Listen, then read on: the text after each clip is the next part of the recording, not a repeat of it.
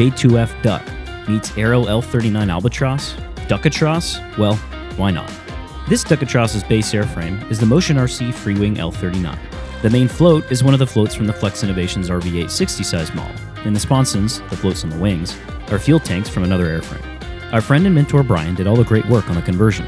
He even was able to shave out over a pound and a half of weight by removing unnecessary hardware, such as the landing gear. In prep for the flight, Brian and I briefed a couple potential concerns. Sponsons. They were built light and therefore were fragile.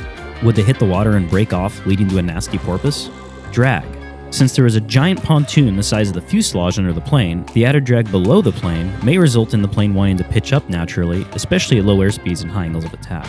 We added down elevator trim by default and prep for this. Let's fly. My nerves were flowing, having traveled 3,000 miles for this flight. I started by taxiing her out and got her into position. This was a plane unlike anything I'd flown before, so I was definitely feeling outside my comfort zone. So, here goes nothing. With takeoff thrust set, I did my best to try and keep the wings level with what little airspeed I had, but our fears came to reality. A sponson very quickly snapped off, which started an oscillation that led to a nasty porpoise. Should I have aborted? Well, maybe, but Brian had stressed a fly or die this thing mentality during our briefing, so I decided that I would attempt to push through the porpoises. In the full scale seaplane I instruct in, a SeaRey, we teach to dampen porpoising by establishing a deck angle in which the hull hits the oncoming water after each bounce in a way that dampens the porpoise. This deck angle varies from plane to plane, and since I haven't flown the mighty Duckatros before, it was anyone's best guess as to what the sight picture even looked like. Ultimately, I was able to dampen the porpoise after a few bounces, and then she leapt into the air. Close enough for government work. Despite the ugly takeoff, she was flying, and it was time to get some turns in and learn the plane as safely as I could with the time and space available. As we had guessed, the plane did want to pitch up quite a bit, especially at lower airspeeds and higher angles of attack, hence that violent rotation despite the tiny amount of back pressure I used to rotate. No biggie though, just fly the plane.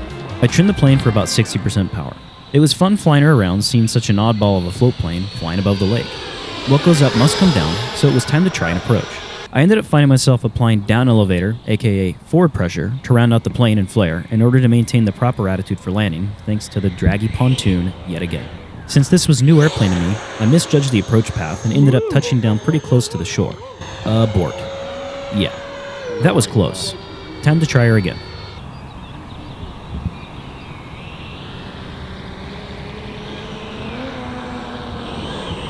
Much better, but rip sponsons.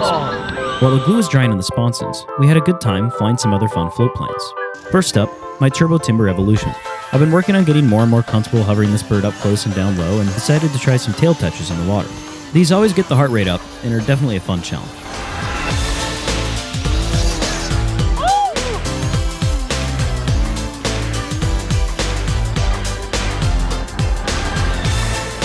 Oh, look at that.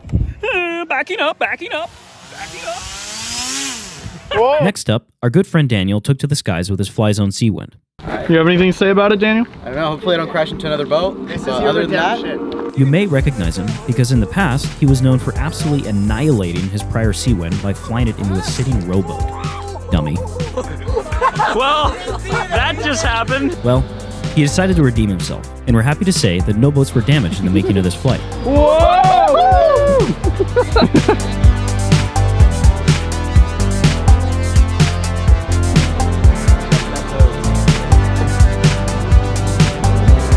Ooh. The CA had now cured, so it was time to take the Duckatros up for its second flight. This time around, Julian offered to hold the tail at shore so I could set max thrust, aka holding the brakes per se, followed by having Julian release the plane. The idea here was hoping that this would allow airspeed to build quicker to make the ailerons effective, keeping the wings level but not dragging those poor sponsons through the water and end up porpoising again. Good call, Julian. Julian. Why you look like an FBI agent? Because I am. It worked like a charm, but somehow I still lost the sponson. Rip. The flight went great, I got in some passes, and once again did the counterintuitive landing via forward pressure to round out and flare. It's time to yet again glue back the sponsons and let them dry. So let's get in some more flying with other birds again. Ian offered to let me take a flight on his beautiful electrified Sig Kadet on floats. This bird has a Flex Innovations 70 size brushless motor and flies on a 6S 5000 pack. This was definitely a great change from the odd characteristics of the Duckatros, and in fact, it was the most scale flying RC float plane I've probably flown. The way that she truly landed on step and as the plane decelerated, slowly but surely came off of step and settled into the water, looked just like the real thing. Thanks for the flight, Ian. Last up, our favorite not armchair engineer, Woody, donated one of his awesome scratch built designs he did back in 2009 while in his early days as an aero engineer. RC is an awesome way to learn a lot firsthand about aero engineering concepts, and with this plane, Austin's mission was to create a pusher float plane that has a high thrust line that doesn't have the annoying pitching tendencies most float pushers are known to have. In other words, the nose wanted to go down when you increase the power and up when you decrease it. He was successful, and this plane was also incredibly light and flew amazing. She even made for a great roller, too. Thanks for the plane, Woody. Well, it's time.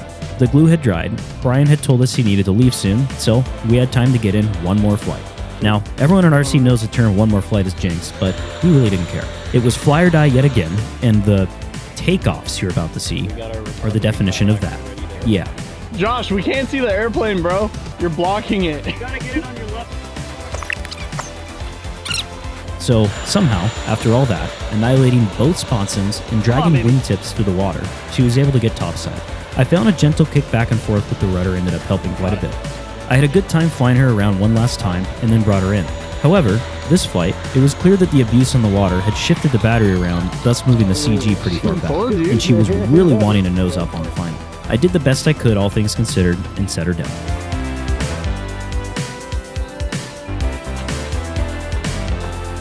Okay. And that's the Tail Heavy Productions way. oh my god.